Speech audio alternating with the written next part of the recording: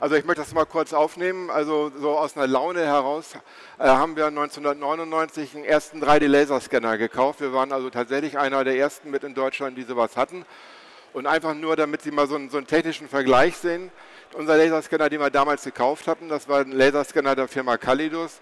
Der hat eine Million Messpunkte in 15 Minuten gemacht. Das war natürlich ein sehr langsam und sie brauchten dafür äh, so, so, einen Koffer als, als Computer und, und der Scanner selber hat 25 Kilo gewogen und äh, Verlängerungskabel, weil alles mit, mit, mit 220 Volt funktioniert. Sie können sich gar nicht vorstellen, wie viel Verlängerungskabel wir im Keller liegen haben. Also das ist schon einiges und heute braucht ein normaler Laserscanner eine Sekunde für eine Million Messpunkte. Das ist schon in den letzten 20 Jahren einiges, was an technologisch passiert. Und Seit dieser Zeit, seitdem wir diesen 3D-Laserscanner haben, haben wir auch angefangen, Software zu entwickeln. Unser erstes größeres Projekt, was wir hatten, war damals die 3D-Vermessung des Brandenburger Tores in Berlin während der Sanierung. Und da haben wir auch mit unterschiedlichen Systemen gearbeitet, und, also Messsystemen, um überhaupt das, äh, das Brandenburger Tor mit allen Details aufnehmen zu können. Und daraus haben wir an, angefangen, unsere Software Scalypso zu entwickeln und die möchte ich Ihnen jetzt einmal kurz vorstellen. Also Scalypso sehen wir so als die, die Brücke zwischen Punktwolke und ähm, CAD. Und äh, wir selber sind auch kein, kein, kein irgendwie halt das hier. Wir sind selber kein CAD-System, sondern das CAD-System ist Allplan und da erfolgt natürlich dann auch die BIM-fähige Modellierung. Jetzt muss ich mal sehen, ob ich das hinkriege. So, also Thema ist letztendlich, wie kommen wir von der Punktwolke zum digitalen Zwilling? Das hört sich alles ganz einfach an, ist im Prinzip auch einfach, wenn man da die richtigen Tools einsetzt. Unser Weg ist es letztendlich nicht, die gesamte Punktwolke zu betrachten, sondern wir betrachten eigentlich immer nur die Elemente, die tatsächlich notwendig sind. Was wir hier sehen, ist äh, eine modellierte Kirche mit äh, Punktwolke als Umgebung und einfach zu sehen, wie die Kirche im Kontext sich darstellt. So, unsere Software Scalypso äh, wird in, in, zwei unterschiedliche Bereiche aufgeteilt. Einmal in, in, Bereiche für strukturierte Daten, also für terroristische Laserscan-Daten. Da müssen wir den Scalypso-Konverter als erstes bemühen, der die unterschiedlichen Scannerformate, also das können also native äh, Formate von den Scannerherstellern sein oder eben halt auch E57 in unser Scalypso-Format überführt. Und wenn das getan ist, dann nehmen wir den Scalypso Modeler und arbeiten damit weiter und äh, können den Calypso Model da noch um verschiedene Module erweitern, zum Beispiel ein Pipe oder ähm, äh, BIM-Modul, um halt die entsprechende Fachapplikation zu unterstützen. Und wir übergeben von unserer Applikation die Daten in Echtzeit ins CAD-Programm. Also es wird kein Zwischenformat abgespeichert. Das ist die zweite Applikation. Da geht es um die Bearbeitung von unstrukturierten Daten, also wenn Sie zum Beispiel Daten von einem Navis, also Navis Laserscanner haben oder ein anderes mobiles System, da können Sie dann die E57-Datei direkt einladen und äh, verarbeiten und übertragen die Informationen, die notwendig ist, um daraus ein 3D-Modell zu generieren, direkt ins CAD.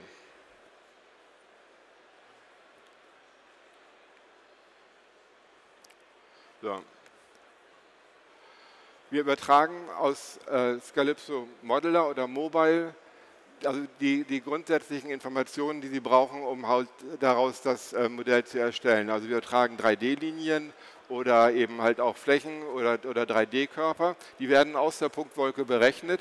Deswegen ist es auch ganz gut, wenn die Punktwolke immer lokal auf dem Rechner liegt und nicht irgendwo im Netz, damit wir auf die, volle, äh, Daten, auf die vollen Daten zugreifen können, um daraus äh, die entsprechenden Informationen berechnen zu können.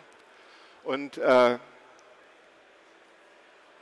was ganz wichtig ist, das werde ich also häufig gefragt, ist, wie sieht die Verbindung aus zwischen dem CAD-Programm und der Punktwolke. Also wir stellen einmal, äh, das CAD-Programm wird einmal orientiert, einmal in ein Koordinatensystem überführt und wenn Sie das einmal abgespeichert haben, bleiben diese Informationen behalten natürlich und Sie haben die Verbindung zwischen CAD und äh, unsere Applikation und es bleibt auch bestehen und wird auch während der gesamten Arbeitszeit nicht verändert. Das heißt, wenn Sie dann hinterher nochmal rangehen und weitere Informationen brauchen, um Ihr Modell verdichten zu können, ist natürlich kein Thema, die Daten ranzuholen, obwohl es zwei unterschiedliche Programme sind. Hier ein äh, äh, kleines Beispiel. Das Thema ist ja auch einfache und schnelle BIM-Modellierung. Und äh, hier zeige ich Ihnen mal so im Schnelldurchgang, wie wir jetzt zu einem BIM-Modell kommen. Also hier haben wir einmal äh, die Arbeitsoberfläche von den Calypso Modeler. Wir arbeiten in dieser planaren oder sphärischen Umgebung. Also wir berechnen aus der Punktwolke ein, ein fotorealistisches Bild, in dem wir arbeiten. Hat auch den Vorteil, dass derjenige, der nicht auf der Baustelle war und gescannt hat, sich hinterher viel besser orientieren kann, als wenn er sich jetzt durch die Punktwolke mit zum Beispiel Clippingboxen durchmanövrieren müsste. So, hier haben wir jetzt äh, ähm, äh, einmal das Treppenhaus gescannt und jetzt geht es darum, ein Allplanprojekt aufzusetzen. Wir müssen also die entsprechenden Informationen, die wir brauchen, um nachher effektiv ein 3D-Modell zu erstellen, als erstes Grundlagen erschaffen. Das heißt, wir gehen jetzt einfach mal ran und rechnen einen vertikalen Schnitt durch das gesamte Projekt übertragen diesen Schnitt in Echtzeit ins Allplan. Dadurch, wir haben also entsprechende Tools in Calypso. Also wir können also einmal eine Schnittebene bestimmen und einmal dann die Schnittbreite.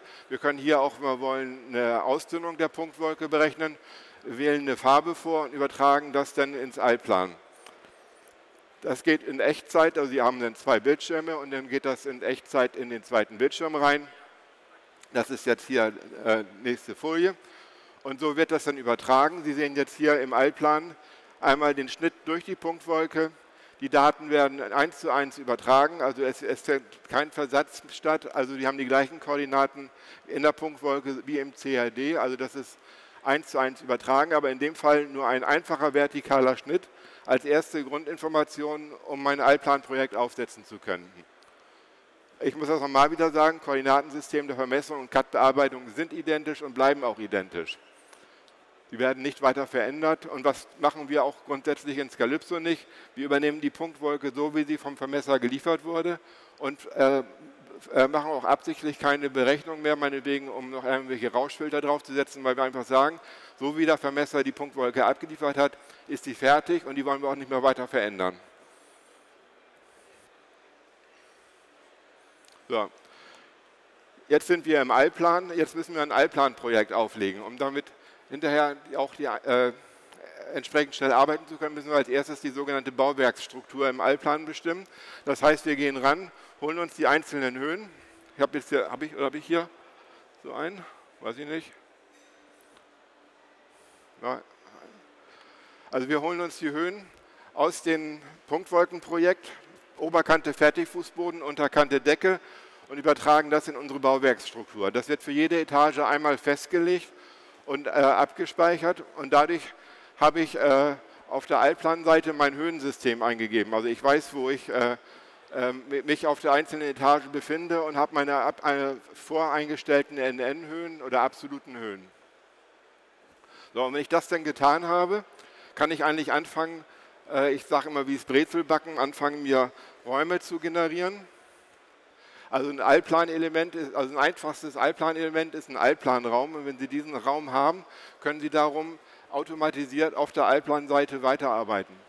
Wir gehen also oben in, in den Scan rein, klicken auf jede Wand, generieren aus diesen zwei Punkte, berechnen aus diesen zwei Punkten 3D-Linien, die verschneiden wir automatisch im Raum und übergeben das als Allplanraumelement. Ich werde immer gefragt, wie wir auch äh, Wände erzeugen können. Wir können natürlich keine Wände erzeugen, weil der Scanner nimmt nur die Tapete auf. Der sieht das ja nicht weiter, was dahinter ist. Das muss dann hinterher der Planer, der Konstrukteur, der weiß dann zum Beispiel durch Zerstören, Untersuchung oder wie auch immer, das ist eine Ziegelwand und kann dann äh, durch die entsprechende Auswahl in Allplan sagen, okay, hier kommt jetzt mit der Funktion Autowand, bauen wir jetzt eine Ziegelwand ein, dann wird das ganze Ding ausgefüllt und es äh, wird für den gesamten Workflow in Allplan die, auch die Ziegelwand vorgehalten. Denn hinterher, wenn Sie die Wand definiert haben, können Sie äh, Türen und Fenster einbauen. Die werden dann auch automatisiert in Allplan reingeschnitten, sodass halt auch die entsprechenden Volumenberechnungen stattfinden. Das heißt, wir haben einen immer einen geschlossenen Workflow. Wir äh, brauchen nicht irgendwelche äh, Zwischenkonvertierungen machen, sondern wir ble bleiben sauber drinne und, und holen uns immer nur die Informationen, die wir brauchen und schreiben alles andere in Allplan rein. So. Ich hatte eben gesagt, dass wenn wir die Wände gemacht haben, also wir haben jetzt hier die einzelnen Allplanräume produziert.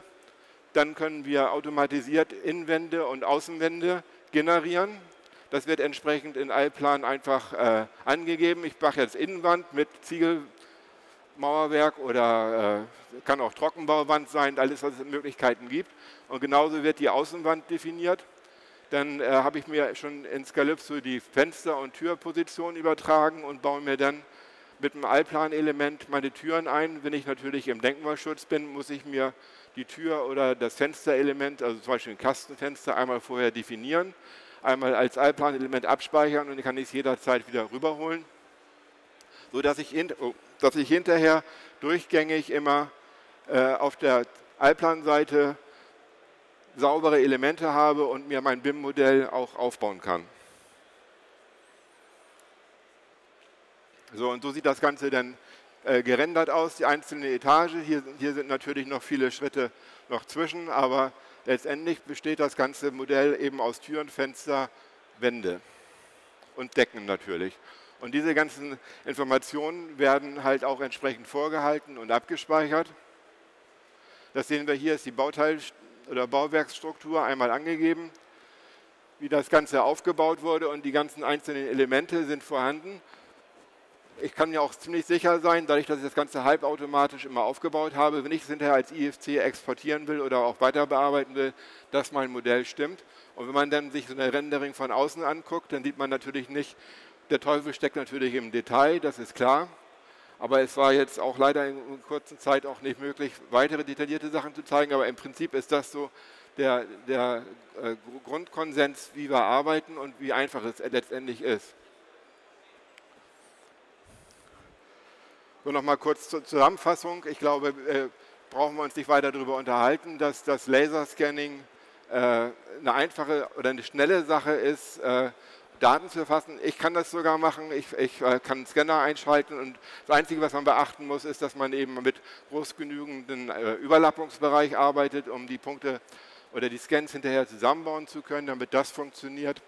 Und äh, das Geld wird meines Erachtens nicht im Laserscanning verdient, sondern in der Auswertung verloren. Wenn Sie da nicht effektiv rangehen und einen sauberen Workflow haben, um hinterher ein gut strukturiertes BIM-Modell zu erstellen, dann ist das schon nicht so schön. Nicht? Also wichtig ist letztendlich die effiziente Auswertung von 3D-Punktwolken und Erstellung eines BIM-Bestandsmodells. Das muss von vornherein ganz klar sein und das gehört auch mit zu den Aufgaben, die man, bevor man überhaupt so ein Projekt anfängt, mit dem Kunden klar äh, verhandeln muss. So, das war jetzt, ich weiß nicht, wie meine Zeit aussieht. Und wenn Sie noch Fragen haben, wir sind die ganze Zeit noch auf der äh, Intergeo in der Halle 3.2 auf der BIM-Area und stehen gerne zur Verfügung. Schönen Dank.